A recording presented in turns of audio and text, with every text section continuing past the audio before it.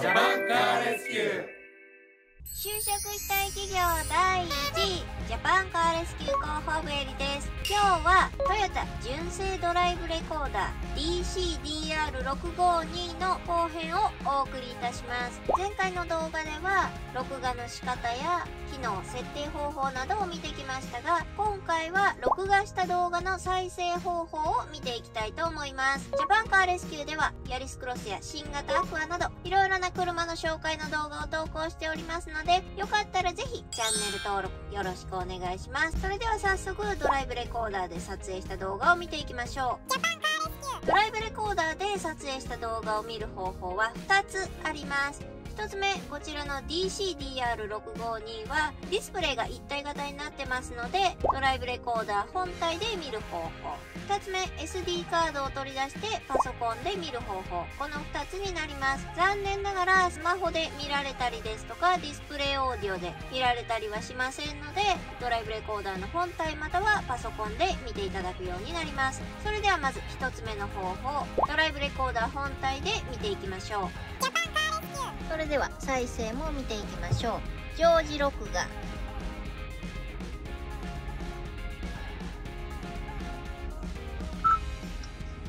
ちら今撮影していた時の映像ですね。こういう停車中ですけれどもエンジンがかかってるので録画されていました。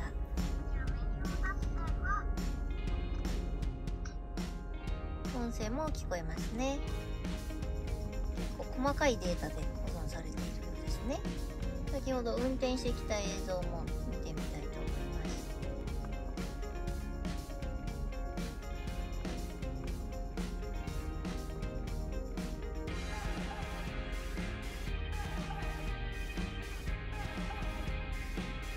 この画面を見るときはちょっと詳しく見るのは難しいかなというサイズ感ですのでいざ実際に事故があったり何かあった時はその場で確認する用として見ていただきましてあとは PC の方でしっかりと見ていただいた方がいいかなと思います。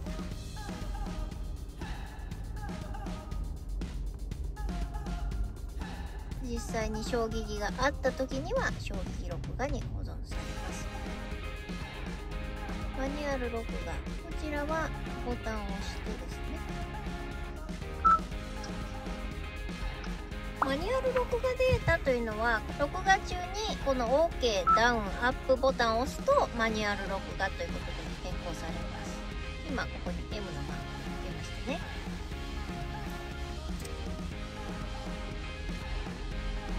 また駐車場常時録画等もできます。駐車場監視衝撃録画というのもあったりします。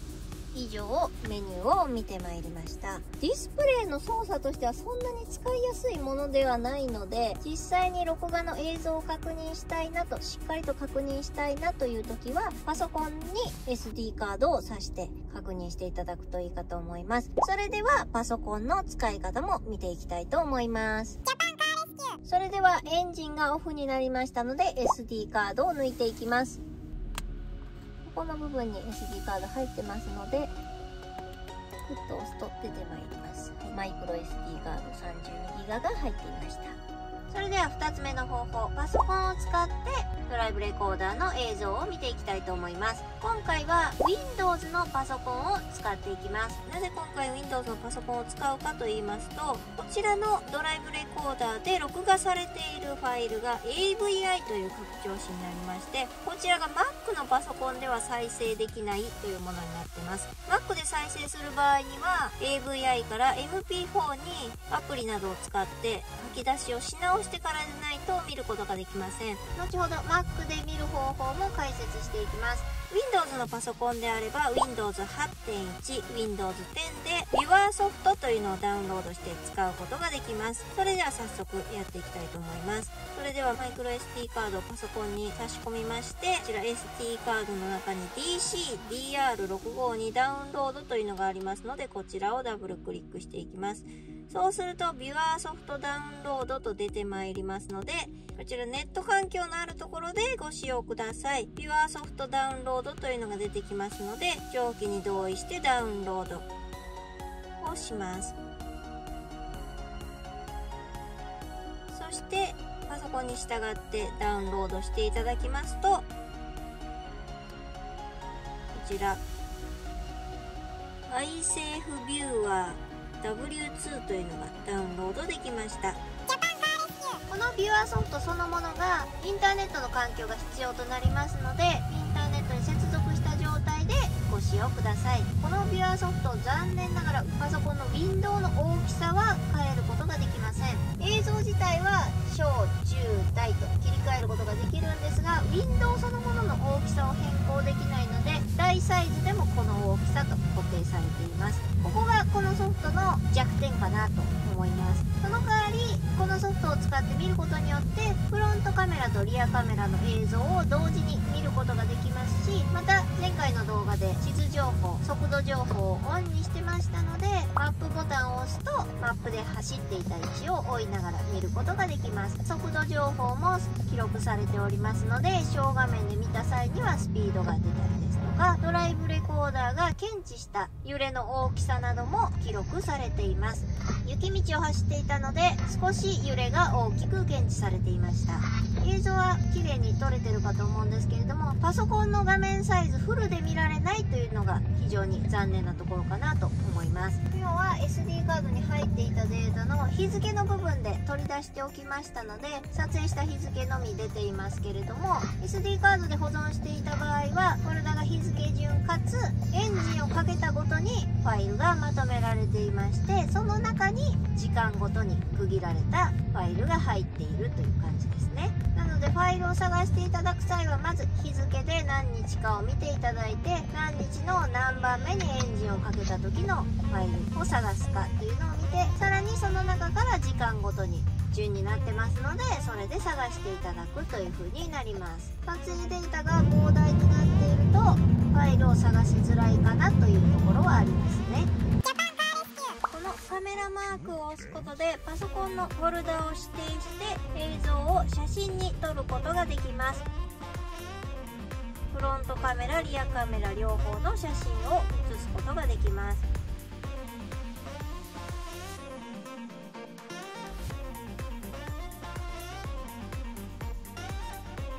こちら拡大のマークで動画を再生しながら部分的に拡大することができます。クリックを押した部分がどんどん。大きく拡大されていきます。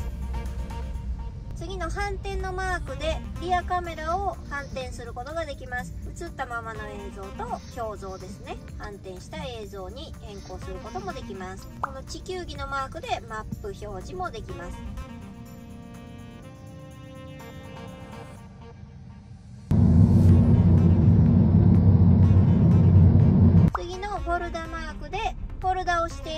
ドライブレコーダーの映像を見ることもできます。SD カードから直接見てもいいですし一旦パソコンに移してパソコン上のフォルダから見ることもできます。ゴミ箱のマークはファイルを指定して削除することができます。いらないファイルをこちらで削除してもいいですし普通にパソコンのフォルダで削除しても大丈夫です。設定の画面は加速度グラフマップアイコン表示設定ということでドライブサポート駐車監視衝撃緊急録画停止速度超過がこのソフト上で表示されているっていうことですね。一番右端の四角が2つ並んだアイコンはフロントカメラとリアカメラの表示の大きさを変更することができます。すごく使やすいソフトというわけではないですがいろいろな機能が備わっていてシンプルな使い方なのでこちらのソフトを使ってドライブレコーダーの映像を見ていただくと見やすいかなと思います。でもっと拡大してみたいなという時は直接パソコンのフォルダから開いてプレイヤーで見た方がパソコン画面最大で見られますのでその方法もやっていきます。例えば事故があった時などの該当のファイル名を探していただいてあとは直接フォルダから開いて再生していただくことによってパソコンの全画面で見ることができます。フォルダの中ではフロントカメラリアカメラの映像がセットで保存されているわけではないのでそれぞれ個別に探していただいてプレイヤーで画面を大きくして見ていただくといいかなと思います。一つの動画ファイルが1分のデータになってますので撮影時間が長ければ長いほどファイル数が多くなっていきますのでその辺りでちょっと探しづらいというところはあるかもしれません。れでは一応補足説明として Mac での再生の方法も見ていきたいと思います。私の場合は VLC というソフトを使って一度 AVI のファイルを M4V という拡張子に書き出しし直しました。Mac の場合の最大の弱点としては AVI のファイルは全くどういうところが録画されているかというのも画面で見ることができないので変換するファイルを見つけ出すのが大変ということになります。また VLC というソフトでは一括で設定して全部書き出しというようなことができなかったのでそれぞれ個別に書き出したので結構手間がかかりました。ですので Mac ユーザーの方はもしかするとこの純正のドライブレコーダーのタイプではなく社外品でドライブレコーダーの映像が MP4 で撮影できるタイプのものを最初から選んでいただいた方がいいかなと思います。すぐに映像を確認したいのにまずは書き出しをしてしかもそれがどのファイルだかよくわからないままを書き出しし直してという風になってしまうとかなり手間がかかりますので最初から MP4 で撮影できて Mac でも再生可能となっているドライブレコーダーを選んでいただいた方がいいと思います。そしてドライブレコーダーを使う上で非常に重要なことなんですけれどももし万が一事故があった際は初期設定だと常時録画かつ全てのファイルを上書きという風になってますので